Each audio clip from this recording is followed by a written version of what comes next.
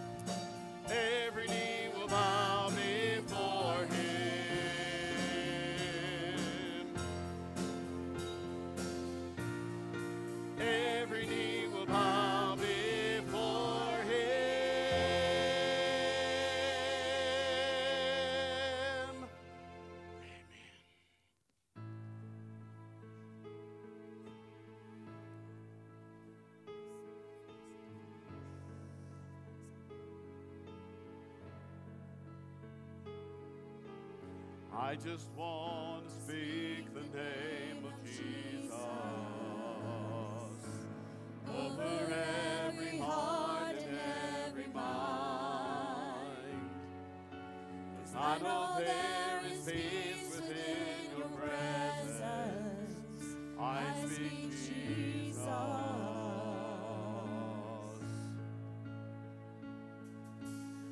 I just want to speak the name of Jesus. Till every dark addiction starts to break, declaring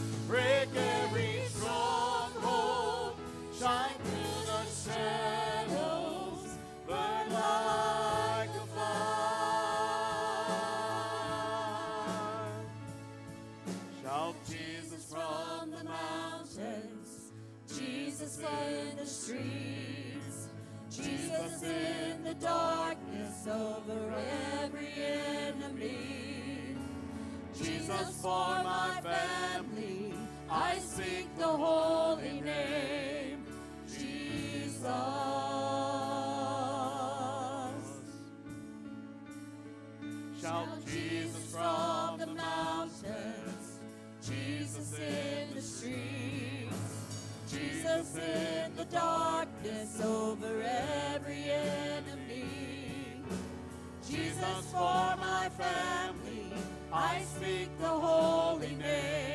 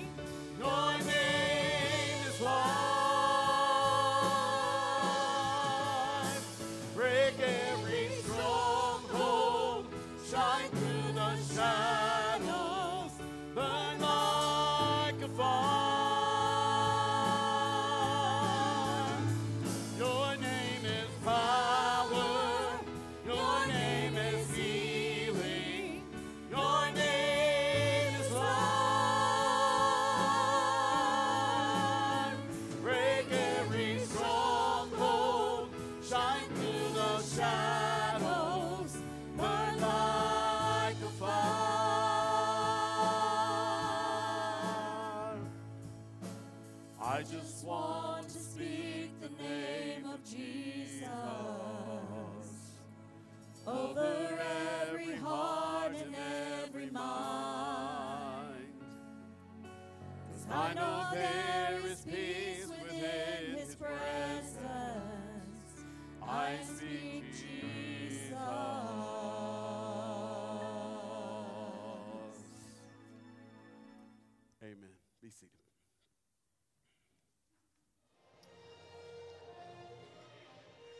Well, um, that's uh, that's something. I, I don't know. I don't know if that makes you evil and me good. I, I'm not sure what to make of it. But thank you, thank you for for whoever put that together. Um, Pastor Appreciation is always a wonderful month to be able to to thank the the church for all that you do for us. Because yes, while you're thanking us, we couldn't do it without your love and support. And um, I don't know, I, I'm not speaking for you, but I couldn't do it without a good woman um, who helps keep me accountable. And I would say that Missy's probably the same. She'd keep you in line. You would have burned down the world if it was left up to just you. Um, Amy is at home with our youngest, who has hand, foot, and mouth thanks to uh, daycare. So she's watching online, um, and we just celebrated our ninth anniversary uh, this past week. So thank you for for celebrating with us on that. First Peter is where we're going to be this morning. First Peter chapter 1. We are continuing our sermon series through the book of- book of First Peter that we are calling Exiles. Peter starts out in the very first uh, section of First Peter and says that we are called as elect exiles. Yes, he was writing to the exiles of the dispersion with these Jewish Christians that he is talking to, but also for you and I. We are exiles in this world. This world is not our home. Every day, whenever the news comes on, whenever I look around, whenever I go out into the world, whatever it may be, I am reminded that this is not our home, that this world is becoming more divisive, it is becoming more cynical, it is becoming more silly. it is uh, becoming a whole lot of something. And as we look around, we are called to be exiles in this world. This is not our home. We are supposed to bear the salt and light of the gospel everywhere that we go. So, first, Peter, as he is writing this book, he reminds the readers of three main things that he goes through throughout this book. I'm recapping so that we understand where we're going to pick up in today of 1 Peter chapter 1, starting in verse 13. Last week we talked about how the main three themes of Peter are for you and I to have our hope set on a living hope. Our hope is not in a 401k, our hope is not in a house, our hope is not in a home, a car, a, a job, a whatever. Our hope is in the living Jesus Christ. It is not on a tomb. It is not on a grave. It is not on the good works and the good teachings. It is on the empty tomb of Jesus Christ who has risen forever. And that is where we must place our hope as we live as exiles in this world. And this hope that Peter talks about is a deep rooted hope that is inside of us. It is not a blind optimism, it is not some sort of Jesus bumper sticker theology of, well, Jesus 2024. We're just going to use that as a cliche to have hope in this election because we don't have hope for any candidate. We're just going to use a, a bumper sticker theology to guide us and lead us in this life. That is not what Peter is talking about. All those things may be good and well, but Peter is talking about a, a deep rooted hope not a blind optimism. The second thing Peter talks about is that we must endure suffering. This world is going to give you problems. Whether it's in your past, in your present, or in your future, at some point, you are going to have troubles in this world. Peter described it in the first part of 1 Peter as various trials. And these various trials that will come your way is not just the person that you're sitting next to. The various trials that you may have in your life are the things that are around you in life, the persecution that comes just for you believing in your faith persecution that you have at work for praying before a meal, or for not doing what your boss wants you to do because it is against your ethical boundaries. Persecution is going to come in one way or another, so you and I must endure suffering. Peter talked about how this suffering has a way to burn away the false hopes in our life. Whenever we go through trials, we may not understand it in that moment, but at some point in the various trials that we have, we that false hope just seems to wash away. Peter's point in this book is that enduring these various trials are an important indicator of our true status in Christ. That when you go through trials, what Peter links back to what Jesus talked about in Luke chapter 8, and many of the other gospels record this parable as well. That of the seed that fell, the ones that burned away because of the various trials were those that didn't really have a deep root in their life. So Peter plays on this and talks about how trials help highlight our status in Christ and whether it is real or not.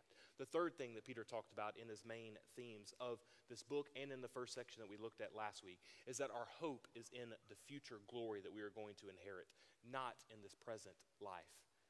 Every day I wake up and I look in the mirror, I'm reminded that my hope is not set on my body, I get a little bit older, a little bit wrinklier. I have another gray hair, however few there are on my head. I have another gray one that pops up, it seems like, every morning. Every morning when I wake up, I have to put a little bit more WD 40 on my joints to get up and get going. Some of you are there as well, although further down the, down the road than I am. This, this glory that is on the earth, ain't it? Our hope and our future is not in an election. It is not in a job promotion that is coming down the road. It is built in a resurrection body where there will be no more pain, where there will be no more suffering. This is the future hope that we should orient our entire lives around. That when we look around, we should understand that we're not rearranging deck chairs on the Titanic because the ship is going down. We're not trying to put paintings up in a hotel room. We're trying to look forward to the coming glory of Jesus Christ. This is what Peter talks about in this first section. He's going to highlight every single one of these themes throughout his book. Today we are going to look at 1 Peter chapter 1 starting in verse 13. Look with me there. Peter says, "Therefore, preparing your minds for action and being sober minded, set your hope fully on the grace that will be brought to you at the revelation of Jesus Christ. Now, of course, every time there is a therefore in Scripture, we should understand that the writer is linking to what was just before and what he is continuing on with. Peter's saying, therefore, because of all the things that I just went back over, the three main, main themes that Peter is going to cover in this book, because of all of that, therefore, this, and he gives a command. Now, I know I'm, gonna, I'm about to make some of your teeth cringe Some of you are going to be really happy, namely my wife and any other English teachers that are in here. What is the command that Peter just gave in verse 13? Some of you are already cringing at this because diagramming sentences reminds you of watching paint dry. I know diagramming sentences has been a long time for some of you. What is the, what is the action? What is the verb that Peter is calling us to? It is to set our hope. That is the command. Preparing our minds, being sober minded, all of those help reinforce what the command that Peter is giving here. Set your hope fully. This is our first point this morning is that we are called to hope fully. That is two separate words where our hope is fully in Christ. Not hopefully it will rain today. Hopefully it will get cooler this week. Hopefully this. Hopefully that. That is not what Peter is talking about, about a blind sense of optimism. What Peter is saying is put all of the weight of your hope on Christ. So Peter says that we should hope fully. Let me just say this, church hope is a choice. Hope is a choice. We don't wake up one day all of a sudden in the midst of pain and suffering and trials and the hardness of waking up just to roll out of bed when you understand all that life has for you that day. You don't just wake up and all of a sudden you're just in a hopeful mood. Maybe some of you wake up on the wrong side of the bed and you're in a bad mood. Maybe some of you wake up on the right side of the bed and you're in a good mood and everything's fun and jovial that day and it's just it's just one of those days. Hope is a choice. When you and I dwell on our pain and our suffering and the bad hand that you've been dealt in this particular moment, you are choosing to fuel and feed the anxiety, the depression, the anger, the bitterness, the loneliness, the resentment. You can wake up and you can have that choice to dwell on all of those bad things, or you can wake up and choose to have hope in Christ. You cultivate gladness and love and hope and gratitude and so many other good things this morning. I'm not trying to stand up here and pretend like this is going to be an easy thing. Just wake up out of the bed and choose hope tomorrow or today. What I am saying is that Peter's message is called for you and I to set our hope. Set is an action, a choice. It is a mindset that you and I can enter into every single day or not. Hope is a choice. Maybe, if you, maybe some of you know the people in your life, or maybe some of you have this particular spiritual gift that many people think they have of criticism and cynicism. These people think they have the spiritual gift because every single time that you tell them about how something is going good, they have something negative to say. They're a one upper. You made a 95 on their test, and they have to tell you because they were just itching to tell you that they made a 98. You wake up and you have a new car. Great, they're going to have one next week. You talk about how this went right or wrong in the football game yesterday, and they got something even better to say. These people have the spiritual gift of cynicism and criticism. They are never satisfied, they are never happy in life. They always have something negative to say. Got a half inch. Oh, it should have been an inch. We still need more rain. It's just, it's just like Eeyore. It's just hard to be around those people. I think that many of these just don't have their hope set in the right place. Because many of them dwell on the sadness and the darkness. And while those people may have the spiritual gift of cynicism and criticism, I've said this before, and I think many of you it resonates well with. While those people may have the gift of cynicism, they cannot say anything to me that is worse than what I have said to myself. No one is meaner to me than me. How about you? You want to give a compliment after the sermon today for Pastor Appreciation Month? Thank you for all you do. All, that, all those things are great. The, the gift of cynicism and criticism, you want to throw those my way? Awesome. It compares nothing to what I throw at myself on the ride home on Sunday morning. It compares nothing to what I say to myself in the office on Monday and Tuesday and Wednesday and Thursday and Friday. No one is meaner to me than me. How about you? If some of y'all said the things that I say to myself on the quiet moments of my life, I would lay hands on some of y'all. I'm not talking about a spiritual praying for like we just did up here. I'm talking about like we, we're going to go to war, right? If anybody said what I thought about my wife or my children inside of my head, because that's where the negative thoughts are, right? Very few of us actually vocalize what the things are that are swirling around in my head or your head. We'd have problems if you said those things to my wife or my children.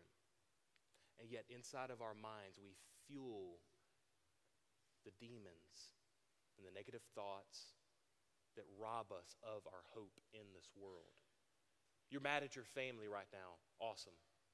You're mad at your boss right now. Okay. You're mad at your wife or your kids or whatever the situation is in your life. You can choose to dwell on those things or you can choose to dwell on the good things of Christ. This is why Paul said it so well in Philippians chapter 4 verse 8. Paul says, finally, brothers, whatever is true, whatever is honorable, whatever is just, whatever is pure, whatever is lovely, whatever is commendable, if there is any excellence, if there is anything worth praise, think about those things.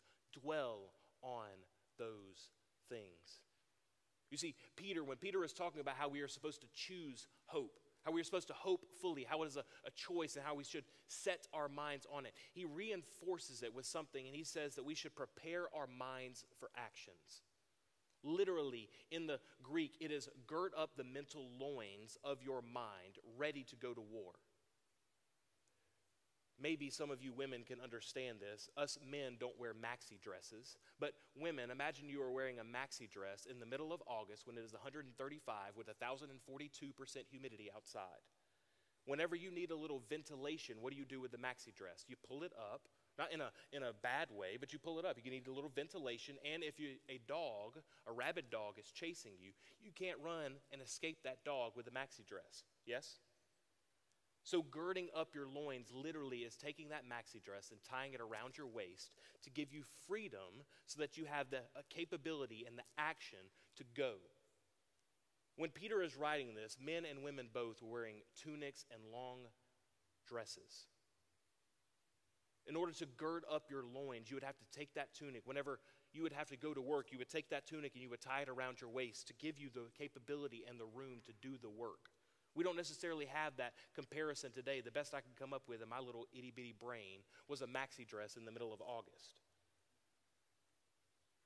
This is what Peter is talking about whenever we are supposed to prepare our minds. Gird up your loins. It's carried a weight to the original readers in Asia Minor who would have understood very well the literal thing that Peter is saying here about tying up their tunics, getting ready to get down to work.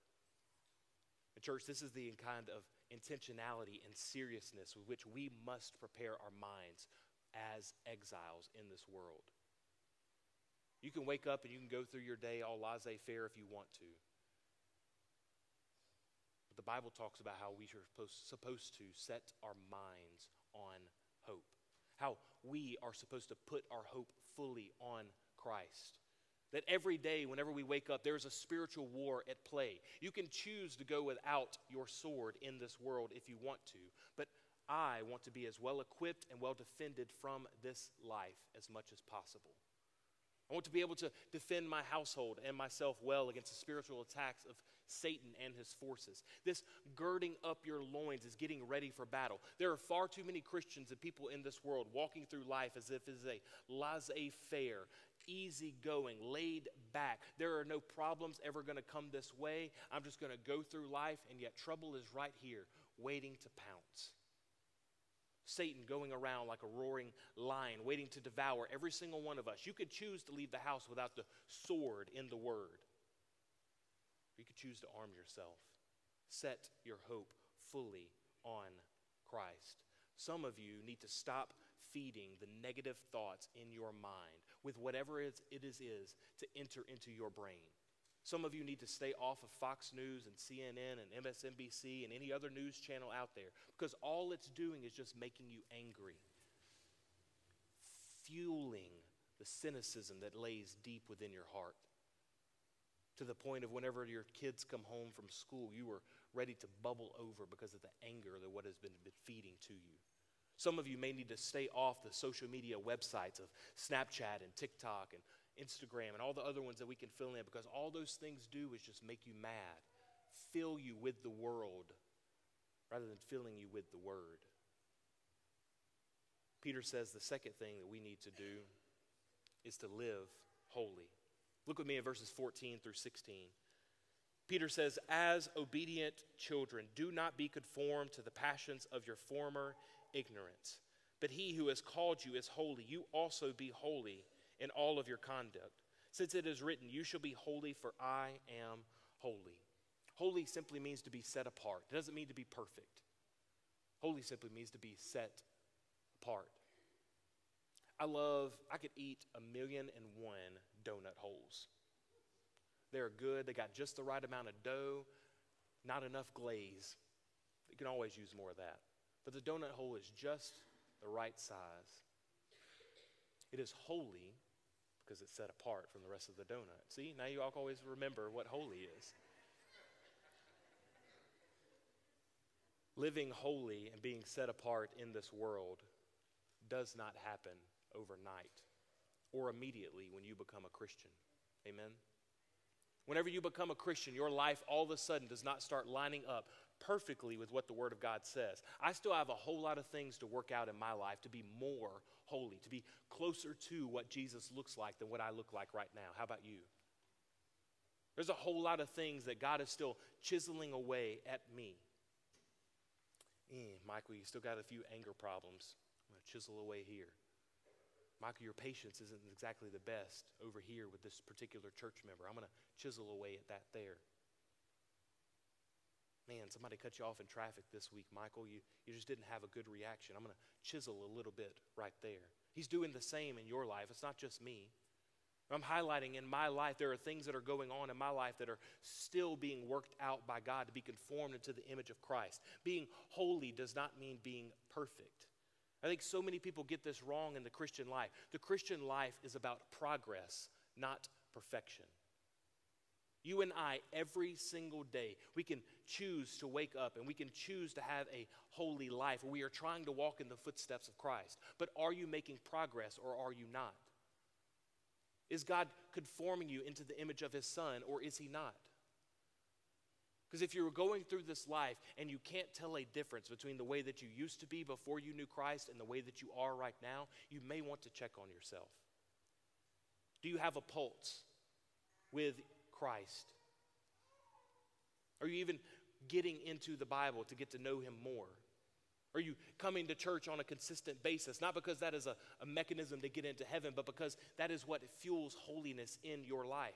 Are you doing some of these things or are you not? As I mentioned last week, I can look around this room and I can see so many people and know their stories about how God has changed them. And the person that they were is not the person that they are now. God reminds me every day of the person that I used to be because I see so much of it in my children. So much of the short patience, the anger problems, the stubbornness and the hard headedness, all the bad things they got from me. I can see it all in them as they're playing out in their life. And I'm reminded I used to be just like that. Not that I am perfect now. I remember all of the hard shaping my parents had to walk me through for me to be a good man, hopefully, a man worthy of respect, a well mannered person. I remember all of those things because I see it playing out in my children. I'm reminded of the man that my father used to be before Christ. His little quirky self that he is now, yeah, he's always quirky. But it wasn't quirky for Jesus. I'm reminded when I look around this room about the great transformational work that God has done on so many of you. Not that you are perfect, but I could see the progress that you are making as you are trying to get closer and closer to God. And He is helping to form you into the image of His Son. This is what Peter is talking about here. Yet when we look around in this world, we see a culture that is bent on something entirely different. Live in a culture of my truth, where you can't question what I believe because, well, it's my truth. We live in a culture where any sense of accountability or correctingness, where we are trying to look at someone's life and say, hey, I see that you got a little bit of a problem here, any of that is met with fi- fierce anger and violence. And how dare you talk about me? We want to cite Matthew 7 1 of only God can judge me and this, that, and the other. We want to go to war at somebody just for trying to ha- say, hey, I see that you're not really acting like you say that you're supposed to be acting right now. You're being a little mean towards your uh, wife. You're not really being a present father. When we ask people about that, man, it's full out war. When we say, yeah, I see how you're living your life, but the Bible says this, oh, it's on. You want to talk about how somebody wants to go to war? You just get onto the online sphere, not that you should. You just go to a college campus and say, yeah, this isn't exactly God's design for what He intended for your relationships. Here was God's intent. And it's on. We live in a culture that is dictated by so many things where my truth reigns supreme. You better not question my reality, my distorted reality of life. We're willing to burn everything down for anyone who disagrees with us politically, spiritually, emotionally, the way that we want to live out our lives. We're ready to burn it all down just because somebody doesn't agree with how you're doing things. I both love and hate this quote from Tim Keller. He says that if you're good, if your God never disagrees with you, you might just be worshiping an idealized version of yourself. You see how that stings? Like, man, I like it. It's a good quote. But then it stings because I start questioning the things that are in my mind and whether or not my God is correcting me or not. Whether my God is helping to align me so that my life is according to His will and not mine. And so many people in this world have a standard of right and wrong that is not defined by the Word of God, but is defined rather by an idealized version of themselves, in which they are never wrong. Questioning them is a full on frontal assault against the God that they are worshiping, which is themselves. As Rick and I have said over and over again many times, we can go to our office, we can cry, we could talk about the things of Scripture, we could talk about what is right, we could talk about what is wrong, but we cannot change what the Bible says. Now, I'm not going to apologize for what the Scripture says. I'm not going to try to walk around it all casually like this is not what the Word of God says. This is what the Word of God says about X. You could fill in the blank with a number of things. I'm not calling out any one particular thing this morning. I'm just saying broadly that when the Word of God says that something is right or wrong, it doesn't matter whether I agree with it or not. The Word of God says it. And I'm supposed to align my life to it. That is the standard, not me. And when you are worshiping a God who never disagrees with you, you're worshiping yourself. When I look at Scripture, I look at my life and I see, Michael, you are doing an awful job lining up here. Maybe you do the same. Or maybe your God never disagrees with you, never corrects you. Jesus both corrects and comforts at the same time. It is not like he is standing out there with a, a judgment sword, coming off the top ropes with an elbow ready to just take you out. That is not what Jesus is doing. He is seen as the good shepherd, the counselor who helps to comfort us. I am not standing up here trying to pronounce judgment and condemnation on any of this. I am simply trying to say that when the Word of God says something, I am not going to apologize for it, and neither should you regardless of whether culture says something is right or wrong. We are called to align our lives with the Word of God. This is what it means to be holy. And yet, when we look around the landscape of this world, people who call themselves Christians, who sit in church perhaps every Sunday, who maybe perhaps are deacons or pastors or elders or whatever the thing is, they are living their lives in such a way that they think that they are getting away with something just because it is a secret, just because they think that the rest of the church doesn't know. Yet the Word of God is standing there waiting to correct and comfort, and many people just won't have it. I don't say that lying is a sin. God does. I don't say that homosexuality is a sin. God does. I don't say that stealing from your boss is a sin. God does.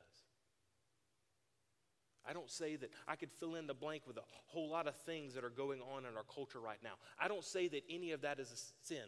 God does. It's whether or not you want to believe it and line your life up with it or not. That is the question. Peter calls for you and I to be holy. Are you? Here's the thing about this God isn't trying to take something away from you, He's trying to give you something. He's trying to say, hey, within these boundaries, here is life. You can have it. You have a choice, just like Joshua. You have a choice before you today. Choose death or life. Which one do you want? The people of Israel, just like all of us in here, I'll take life, please. Thank you. And God says, okay, here are the parameters, here are the boundaries that you get to live within. You're going to do your money this way.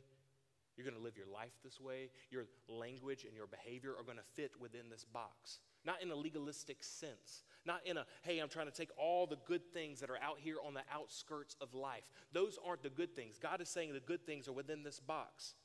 God's designed for sex. God's designed for marriage. God's designed for the family. God's designed for your money. God's designed for a whole lot of things. All of it is life right here within this box. Yet all of us, like dumb sheep, are sitting around looking, saying, No, I like the grass over there. I think I'm going to get outside of that box. That's where the good things are. And God is saying, No, that is death. And we, being the dumb sheep that we are, want to go and get it. We want to go and eat on it. Fill our big old fat bellies, go home and take a good Sunday afternoon nap. That is what we want to choose and run to. God is not trying to take something from you, God is trying to give you life. It's just whether or not we want to line our lives up with the Bible or not. We are called to live a holy life, a life that is set apart from the rest of the world around us. And how we act, how we talk, how we think. That is the life that God is calling us to. And yet, so many Christians, we walk like the world, we talk like the world, we think like the world, we act like the world, our marriages aren't any different than the world.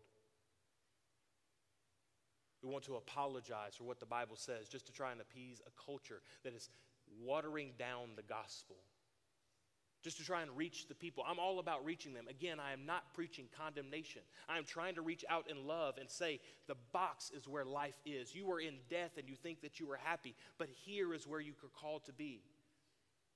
This is what God is calling for all of you this morning. When you are walking in sin, you are walking closer to death.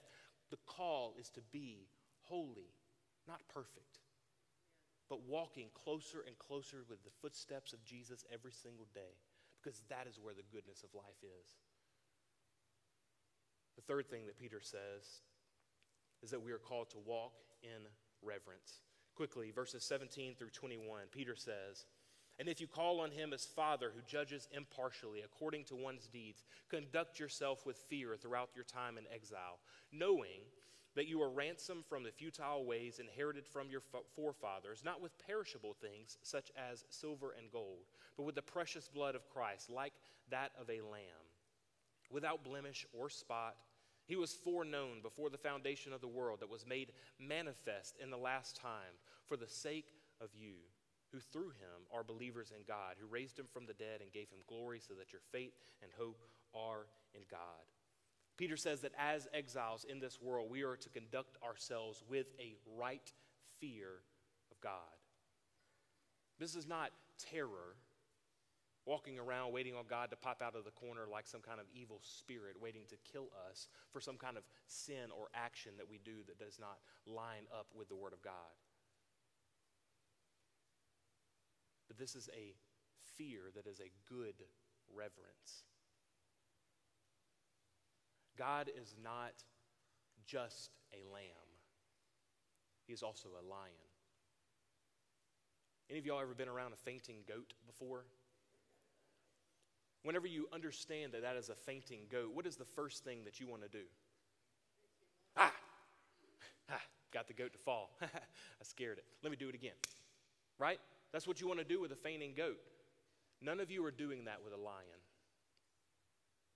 Even if they say that it is a tame lion, a circus lion, a lion that even perhaps maybe behind a cage, and you think that a little eighth inch piece of wire is going to separate that lion from you. You're even then, you are not going to have the boldness to jump at that lion. You are not going to want to clap at it because there is a sense of awe and terror and right fear that you have for the lion because you understand that on the food chain between you and the lion, you lose every time. Even with the sword, even with some of y'all, all of your armored up, zombie theory crafting things that you got at home, with all the guns you got stocked in the gun shelf, even if I had all of those strapped on me ready to roll, I'm still going to want some distance in between me and that lion. Yet so many people want to walk around, again, with some bumper sticker theology about how Jesus is their friend. Sure, Jesus is the friend of sinners. Sure, Jesus comforts us in our time of need. Yes, all of those things are right. But Jesus is the lion of Judah who will one day, all of us will stand before him, completely naked and exposed in our sin and our shame. Him understanding everything that has transpired in your mind or physically in this world, understanding all of that, you will be exposed before the lion of Judah. This is a sense of awe and fear and reverence that we should have toward God, and we should walk in that way. There are so many people who walk around in this world and saying that God is a God of love, and I'm not going to have to fear Him, and God's not going to send me to hell because of this, that, and the other. And while they may have those ideas, what does Scripture say? This is the weight that we are called to live and walk in every day as exiles in this world. One day, every single one of us will stand before the lion of Judah. He will look at us and say, Well done, my faithful servant, or depart from me, for I never knew you. Which one is he going to say to you? Are you walking in holiness? Are you walking like the world? We must wage war in our hearts and minds to put to death every single sin that keeps us from living our lives as exiles, set apart as holy exiles. We must put it all aside. And some of us, we love the thing. We love the sin so much more than we love the God of the Bible. We love the sin more than we love Jesus. That is at the heart of every single sin that you have. You love it. You're willing to fight for it and protect it. You run back to it every time because you love that sin. So, how are you doing this morning? How are you doing on the hope that you have in this world? Is it set on Christ? Is your hope fully set on Christ? Or is it just kind of a, yeah, I'll get to heaven one day? But right now, I'm really worried about my job. Right now, I'm just trying to fight in the trenches to get through the day. I'm just fighting for this week because this week is awful, and I've got this coming up with school, and I've got that coming up with work, and my kids have all of these things going on. I'm just trying to win the day, but my hope is not fully set on Christ. I'm not saying that we have to ignore the things of this world, but how is your hope being set in this world? As I mentioned, some of you probably need to gird up your loins and get rid of some things that you are listening to in your life. Gird up the loins of your mind to be prepared fully so that your mind can be set on the good things of this life rather than on the bad things of this life. How are you doing as exiles in this world? Are you more concerned about what others will think about you if they found out about that sin than you are being concerned about what the holy God of the universe sees already? Walk around in our sin we're concerned about what somebody else may think about me if they only knew I had an addiction to this. We're more concerned about the people sitting around us than we are about the God of the universe who already sees it. How are you doing on walking in outright disobedience with God? How's that going for you? Maybe there's some things in your life that you need to straighten up and get closer aligned with what the Word of God said, rather than being blatantly disobedient, walking in it every single day. Maybe it is time for you to repent. Maybe it's time for you to come into a relationship with Christ. I don't know what it is for you this morning, but I pray that the God of the universe, who sees you and loves you just as you are, because while you were a sinner, Christ died for you. Maybe now is the first time that you want to commit your life to Christ. I don't know what it is, but I pray that God is working on your heart so that you can align your life to live as holy exiles in this world. Will you stand with me?